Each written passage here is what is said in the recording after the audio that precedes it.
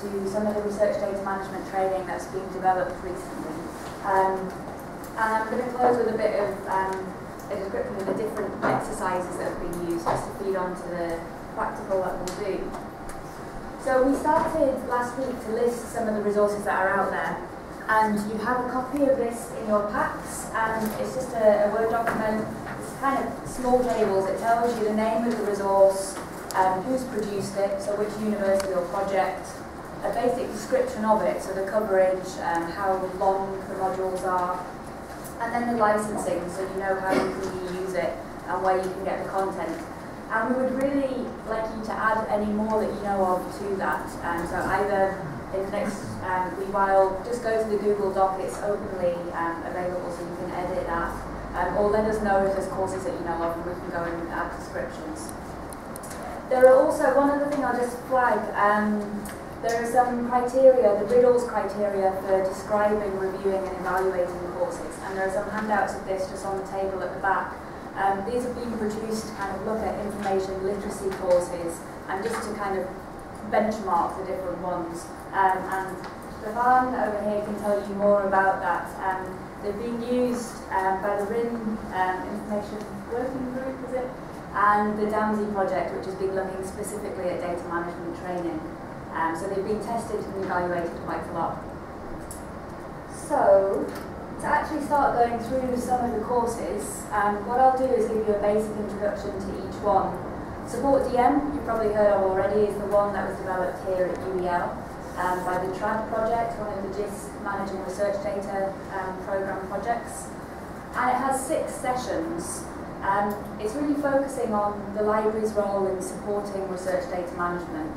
So it starts off with a broad overview, and then um, we think about what kind of guidance and support librarians might give to researchers, and then it focuses on things that the librarians are likely to get involved with. So data management planning, because often they're, they're helping researchers write plans, deciding what to keep, because we find that researchers often don't actually select which data to keep, they want to keep everything, and cataloguing and sharing data, because given the, the role of managing repositories, we think this is a key area for librarians too.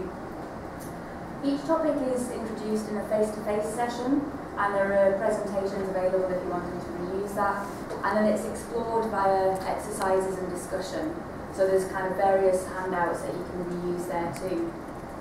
And what happens after that? The learning is reinforced by a, an online tutorial. So the, the delegates go away and over the next couple of weeks or however long you have between the sessions, they'll go through an online module that just reiterates what's been covered during that session and there's a practical task to do as well all of the materials online, and you'll see this in the um, exercise at 12, so by all means reuse it if you like. The University of Edinburgh has created a, a DIY training kit for librarians, and this is really a self-directed course. The aim is that a group of librarians who want to know more about research data management can just take this material and kind of run the course as a group, because at Edinburgh they found that librarians have a lot of knowledge already, there's a lot of experience within the group, and if you just get a group of people together, they can actually get the ideas bouncing off each other.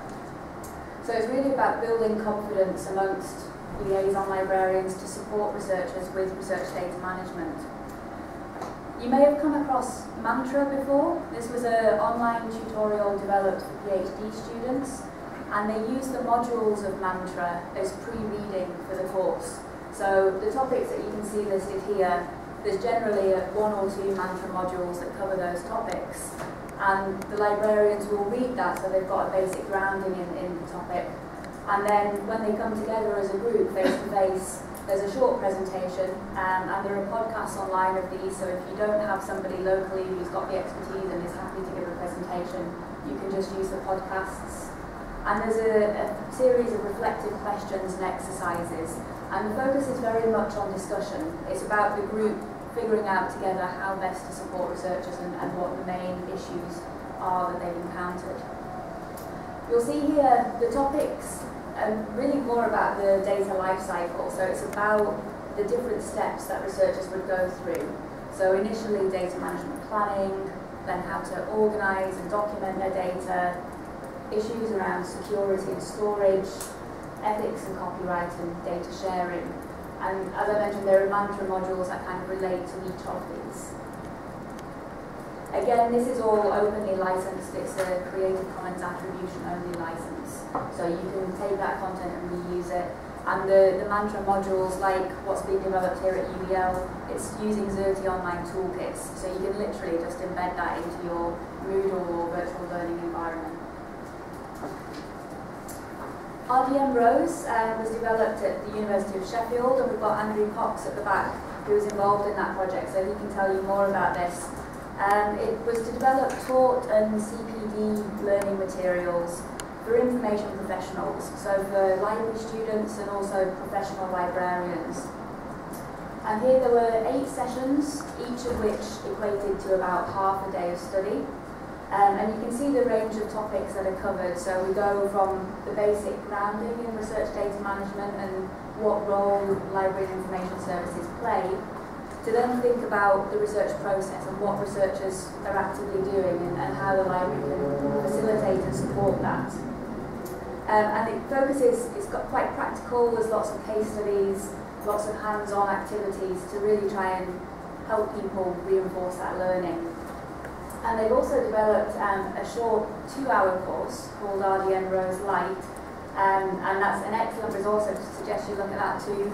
It's actually been the inspiration for, for a course that we've developed in the DCC called RDM for Librarians. So there's a lot of materials for librarians out there. This DCC course is a three-hour course. Um, what we've done, we've taken inspiration from a couple of JISC MRD projects. So there's RDM Rose and, and their light course. It's essentially a set of slides with all of the exercises kind of embedded within it. So it's just one block that you can just take and reuse.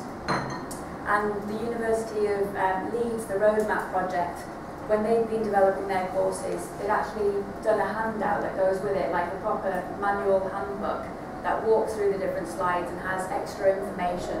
Um, and we found that the delegates in the courses at Leeds really found that useful because they could write over the handbook as they were going through, and it was a resource that they could take back and keep on their shelves and refer back to. So what we've done for this DCC course, um, we've developed this kind of single slide set with all the exercises built in, with the accompanying handbook. Um, and it starts off with an introduction to data management, and then it covers the main kind of topics, data management planning, data sharing, and kind of the skill sets that are needed. So largely what skill set support staff need. And at the end, there's a section that you can customise to your institutional context. We did this initially with the University of Northampton, so we had details about their data management policies, um, the support staff at Northampton, what infrastructure was in place so that we could direct people to that. Um, and we used the UK UKDA's guide, which is a really excellent introductory guide, as some pre-reading. And it's, it's quite an engaging guide, it's got lots of case studies, it's got lots of images. And the librarians who went away and, and looked at that, they actually came with lots of questions because there were lots of things that had kind of piqued their interest. So that's quite a useful resource to use as a kind of pre-reading guide. Data Intelligence for Librarians is a four-day course that's run by 3TU, a consortium of technical universities in the Netherlands. And this one is kind of like a summer school. It's a chargeable course. I think it's about 100 euros, and people can sign up for the four days. It's a combination of online learning and face-to-face sessions. So they meet and they discuss various topics, and then there's theory on the website and various assignments that they'll do in, in pairs. They generally pair people up, or they go away and do that in their own time and come back for the next day's session. Um, there's more of a focus here on the kind of repository and technical side. So you can see they're covering technical skills and acquisition and advice.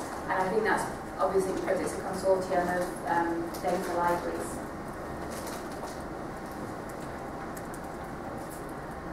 You'll also hear this afternoon about training for research administrators and IT staff as well.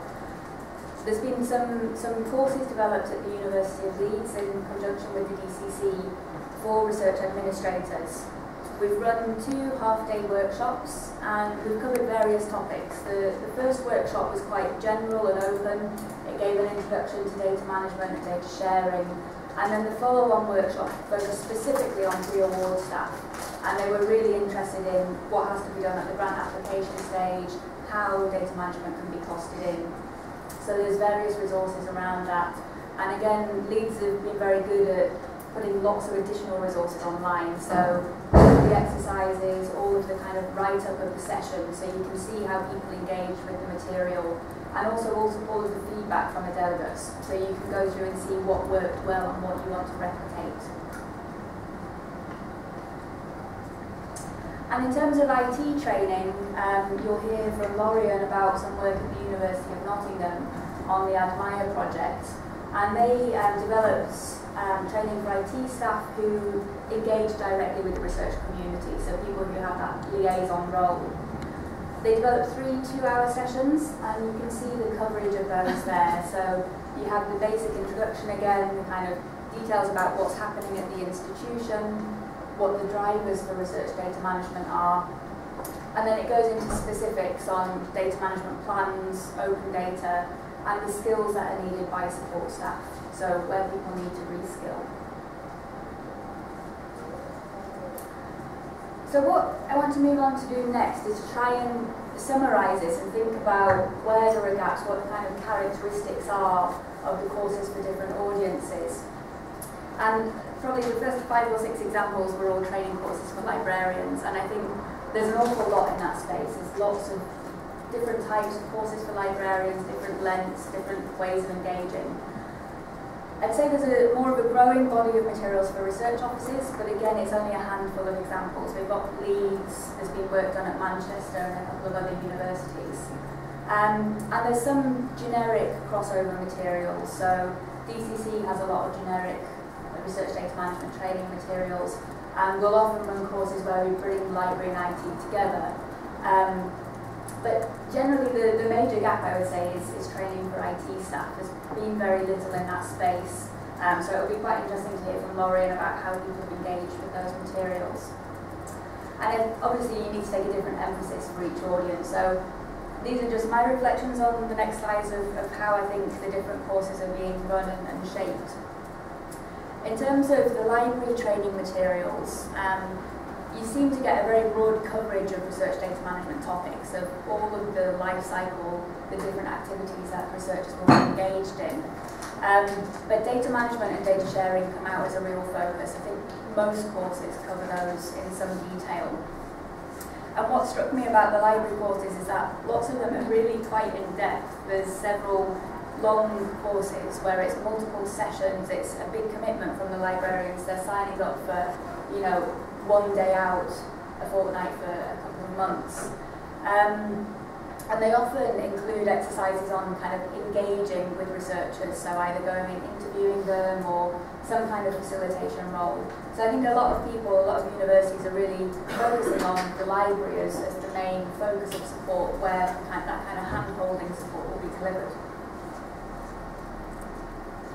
In terms of research office training materials, um, from what I've seen so far, they're typically a lot less in depth. They're usually introductory materials, half-day workshops. Um, just to give a basic overview to research data management, so that research office staff, because they're the first point of contact um, when researchers are putting together grants, so that they can point them to relevant services in the university. Um, it doesn't seem that people are expecting research office staff to deliver lots of the support um, and obviously they, they seem to focus on the early stages of the life cycle, so the data management planning and, and costing research data management. And in terms of IT training, I think it's harder to draw out trends, but Laurian made an interesting um, observation that when they were developing the materials at Nottingham, they found it useful to draw a distinction between IT services as a block, so all the kind of corporate and enterprise architecture, and the IT staff who have more of a liaison role, the people who are actually working directly with the research community and having that kind of face-to-face -face interaction.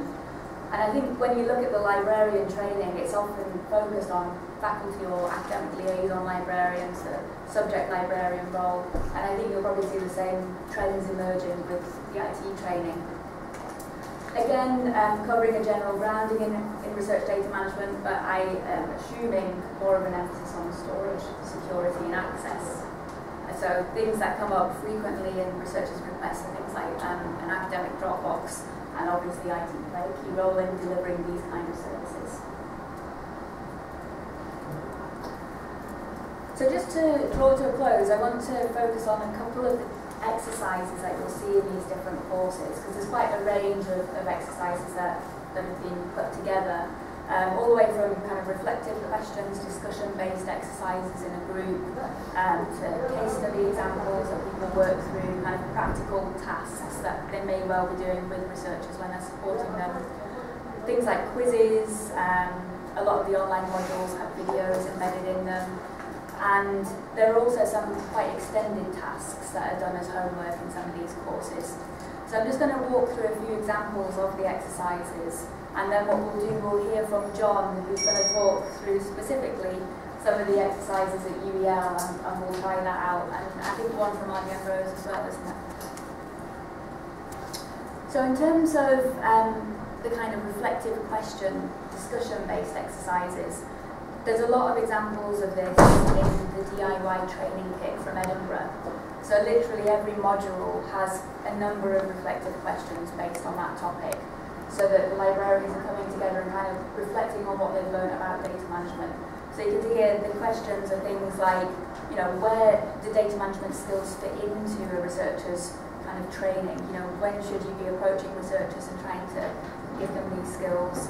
Um, and where would you refer researchers to if there were gaps in support for data management? So it's trying to tease out some of the issues.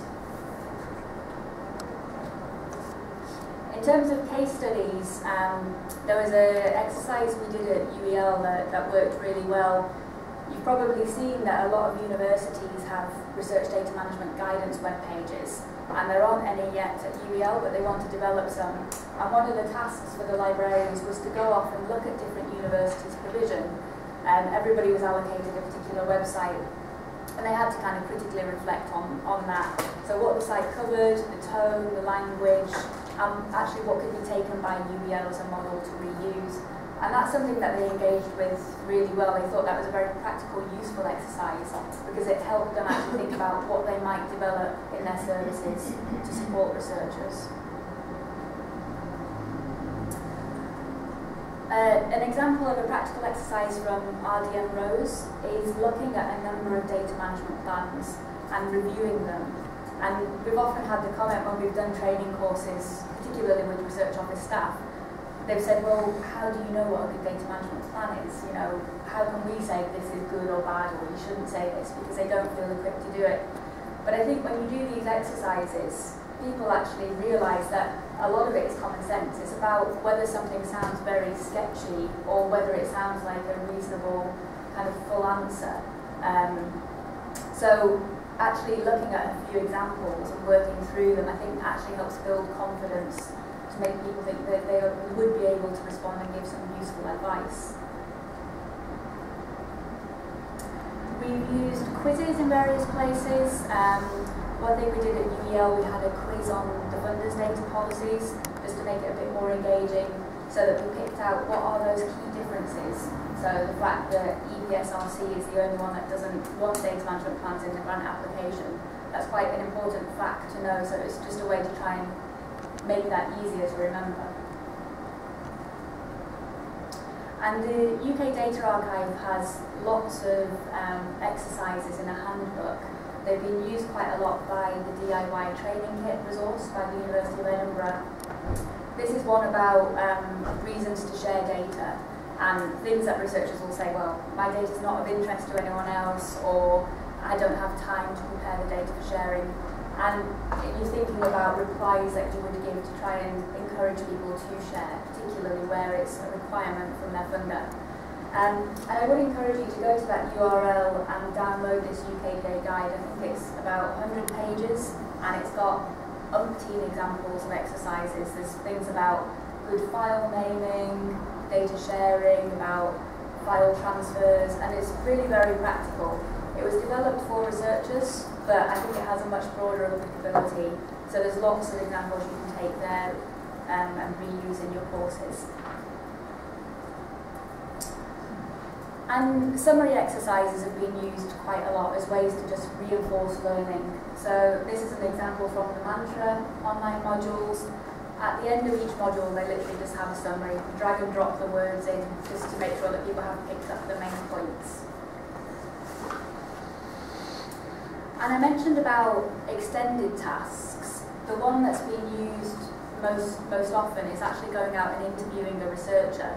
And this is an example from RDM Rose where they've got a, a script essentially to talk talk the librarians through the idea of interviewing a researcher and then think about what they would want to pick out, what questions they would want to ask, what they want to understand about the researcher's work um, and their practices and, and the library's role in supporting that. And the feedback we got from UEL, this was one of the tasks on the Support DM course as well, this was by far and away the thing that book librarians found the most useful because it actually gave them a concrete example of what the research community is facing and what support they need from the library and from IT services. And most people found that was the most valuable exercise that they did throughout the whole course. So if you do one thing, I'd probably recommend that as a task because it gives people a, real idea of that engagement process which they'll potentially be going into and that was the last example. So it was a bit of a whirlwind tour through some of the resources and the kinds of things that are in those courses. Um, I have a fair degree of knowledge of the different ones, so I'm happy to take questions, but a lot of the people who developed them are in the room too, so I may deflect them to the people who actually asked, put, put together these resources. Any questions on what's out there that you can reuse? Yes, Matthew? Um, there seems to be quite a lot of materials out there I had to do data management and do data sharing, yeah. um, including engaging researchers and all that good stuff. What about materials for helping people to build a business case and do that in the first place, or maybe going for internal, justifying internal funding? Yeah. So that's when the library and the IT come together and justify getting yeah. internal tools to. Yeah, there are. I think, did you have a handout of that DCC guide? There is a DCC guide, literally, on exactly that, on developing research data management services. Um, and a lot has actually come through the JISC MRD programme, so lots of universities have been putting together their business cases. From the programme events, you've got presentations reflecting on that and actually what the process is, what has worked well. Um, so really useful reflections, like um, the University of Bristol found that when they talked about you know, the compliance driver. That wasn't what sold it. You know, the university was like, well, you know, we'll maybe take that risk. But when they talked about the research benefits, they were like, we could get something from this. We could actually be ahead yeah, of our peers. So the, there's not training materials per se, but there's a lot of content out there about those lessons. Um, so if you look at the JISC MRD program, particularly the big program events, so the kind of progress workshops, the end of conference, end of program conference, um, and the the DCC has been trying to kind of synthesize things. So the main guide we have, um, actually if I can open the web, I'll just show you where it is on the website. Um, we have this developing research data management services how-to guide, um, and there's a number of case studies that are coming out too.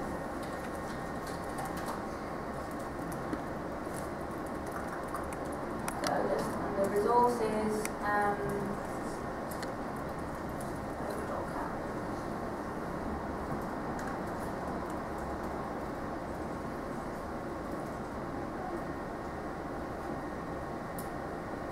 developing RDM services. Um, and there you can get the link to the how-to guide and um, the case studies that are out so far. I think there's about four or five so far. Any other questions? Yeah, uh, um, you first slide on uh, data management plans and some of the plans that are already available, which is really useful. Uh, but there are, there are huge gaps yeah. in terms of the funders that are being looked at. Is there any work taking place in any university to actually look at successful uh, projects and make available the data management plans for those? Um, it's kind of sporadic and ad hoc, I would say, at the moment. So there's small examples of data management plans being made available, so kind of one-off, like the one have got online. What the University of Edinburgh is planning is to have a kind of registry of data management plans because researchers often ask to look at an example. Whether they will make that open or whether it will be an Edinburgh only resource, um, I'm not entirely sure. Um, we'd encourage them to make it open, but they may you know, want to keep it closed for obvious reasons. Um, what you'll generally find is that research offices already point researchers to example plans. Um, if that could be done in a more public way, people are happy to have a small model um, the main one that's there so far, I mean, it's a US context, but under um. Um, the University of California, San Diego has a directory of data management plans. They've got 20 plus plans that were submitted to the National Science Foundation. That's the biggest collection of examples I've seen. Um, but I imagine we'll probably see them emerging in the UK on DMP Online Yes, I mean, what you can do in DMP Online, institutions can customize it and they can um, add kind of examples or custom guidance so that when somebody from that university logs in, they get pointed to you know, the repository at that uni or whatever. Um, we have wanted to build in more examples, but they're, they're a little bit few and far between at the moment. Um, but hopefully we will get more actually built into the tool.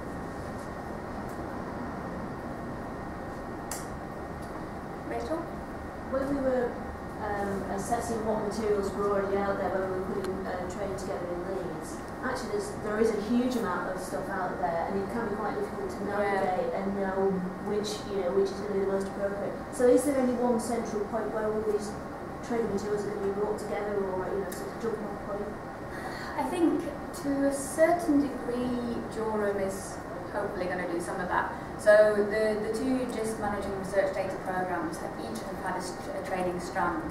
The focus in the first program was on disciplinary training materials and the second program has been on disciplinary plus support staff training. Um, and there's been an obligation to deposit in Jorum. Um, it's not always that easy to find content in Jorum and what the aim is to try and pull things together into a kind of research data management portal. Um, but obviously there's a lot of resources that aren't in well.